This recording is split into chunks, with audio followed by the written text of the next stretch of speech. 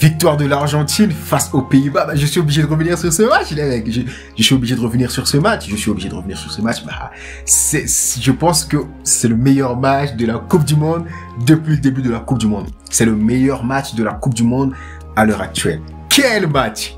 Quel match Et je ne peux pas parler de ce match sans parler de la passe magique de Messi. Je pense que la passe... Mais Messi, d'où viens-tu? Messi, d'où viens-tu?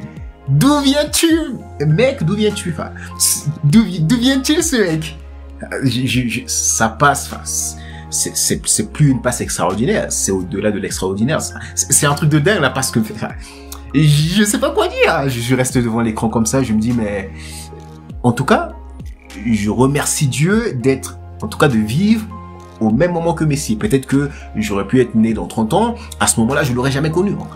J'entendrais parler de lui, mais je l'aurais jamais vu ce que je peux voir en live, et voilà. Et malheureusement, à ceux qui regardent pas la Coupe du Monde, bah, vous passez à côté de plein de choses. Hein. hein. bon, c'est trop tard, même si vous regardez un prochain match.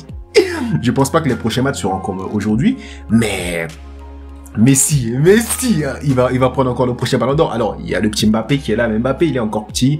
Je ne pense pas que Mbappé, euh, il va prendre le ballon d'or cette année. Hein. Messi, Messi, il est bien parti. Messi, je sais plus quoi dire. Franchement, je sais plus quoi dire.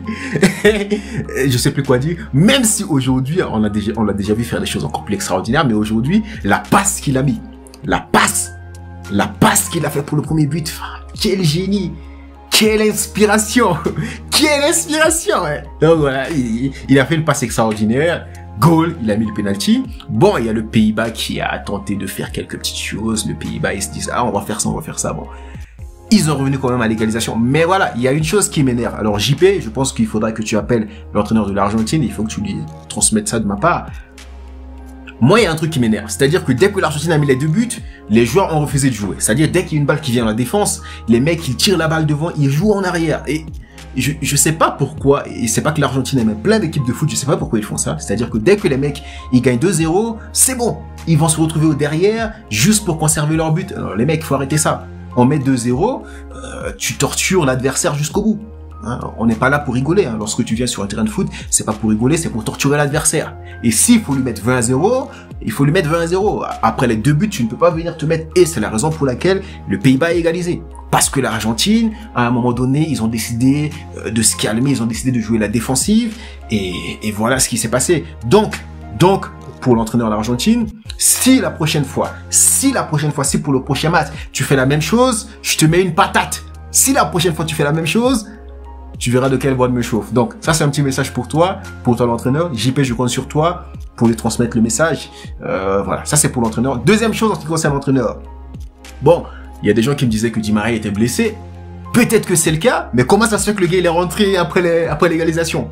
S'il est rentré après l'égalisation, en tout cas ça veut dire qu'il est déjà en état de jouer. Pourquoi tu l'as pas fait jouer? Après l'égalisation, lorsque Di Maria est rentré, le match, il est, c'était pas possible. Le match, il est devenu autre chose. Dès que Di Maria est rentré, le match, il est devenu autre chose. Et l'entraîneur d'Argentine, bon, il a fait des bonnes choses. Hein. Je, je, vais, bon, je vais pas vous montrer que ce qu'il a fait de, pas bien. Il a fait de bonnes choses. Hein. Il a permis à l'équipe d'être là. Mais, mais, il y a des petites choses que, je vois, il y a des petites choses que, ah, cloche toujours. Donc, j'étais à l'œil, j'étais à l'œil. j'étais à l'œil. Euh, moi, je m'en fous. Hein. Si moi, je supporte l'Argentine un petit peu, c'est juste pour Messi. Hein. Euh, donc voilà, c'est juste pour Messi. Donc, toi, en tant qu'entraîneur, tu en profites. Mais voilà, le mec, il est là, il fait le maximum. Il faut au moins que tu l'aides en tant qu'entrepreneur, en tant qu'entrepreneur, en tant qu'entraîneur. Il faut au moins que tu l'aides. Et, voilà, et donc voilà, voilà pour ce match. Et quoi d'autre? Ah, Je voulais revenir sur l'arbitrage. L'arbitre également, la FIFA, la FIFA, là on est sur des trucs sérieux. Donc, alors vous allez me dire, l'erreur est, est humaine, oui je suis d'accord.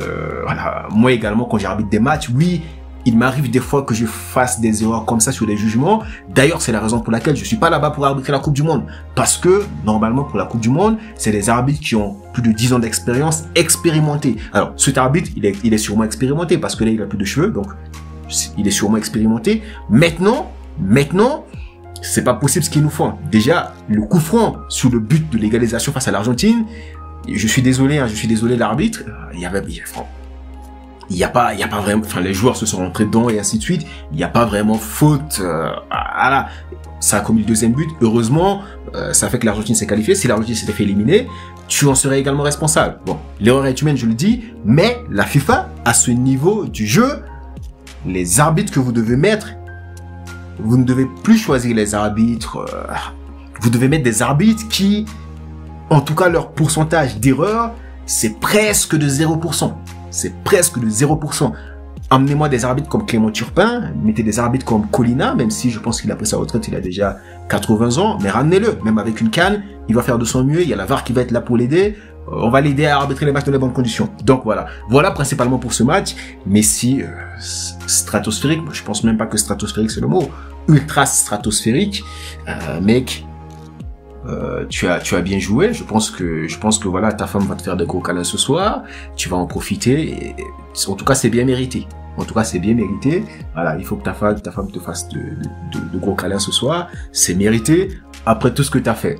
L'entraîneur de l'Argentine, je l'ai encore à l'œil. Donc, Argentine est qualifiée. Euh, vous allez jouer contre qui? Vous allez jouer contre qui? Euh, L'Argentine va jouer contre, contre la Croatie. Alors, ça c'est un petit détail. Alors, la Croatie a battu le Brésil. Les gens vont dire, mais l'Argentine va taper la Croatie. Tu vas, on va leur donner une petite fessée. Euh, bon, l'Argentine va donner une petite fessée, une petite fessée à la Croatie. L'Argentine va arriver en finale et on verra ce qui se passe. Hein. On verra euh, si alors il y a, y, a, y a, le Maroc qui va jouer contre le Portugal. Bon, logiquement le Maroc va donner une petite fessée au Portugal et le Maroc va jouer contre la France et peut-être que le Maroc va également donner une petite fessée à la France. et, ben, voilà. et donc la finale peut-être Maroc-Argentine. Hein, hein. Ça c'est mes pronostics. Si vous n'êtes pas d'accord avec moi, bah, dites-moi c'est quoi votre pronostic. Mais en tout cas moi je suis certain. Je suis certain. La finale ce sera Argentine-Maroc et on verra ce qui se passe. Donc voilà, je sais déjà le résultat de la finale, mais je vous dis pas aujourd'hui, je garde le suspense. Donc voilà, Messi, euh, bravo Messi, Messi bravo, bravo Messi. J'espère que ta femme va te faire de gros câlins comme il le faut. J'espère que tes enfants vont te, faire de gros câlins comme il le faut. Et voilà. Euh, le gardien, j'avais j'ai failli l'oublier, le gardien de l'Argentine, mec, qui c'est ce type? C'est plus un humain le mec. Je sais pas si vous avez pris un tigre, vous avez ramené un tigre, vous avez ramené un chien. Le mec, il saute de partout. Qu'est-ce qu'il a mangé avant le match? Qu'est-ce qu'il a mangé avant le match? Il, est trop fort, ce mec. Il est trop fort. Bon. Euh, je vais y aller, donc je pense que je vais vous laisser. J'ai Beyoncé qui m'attend. Euh, voilà.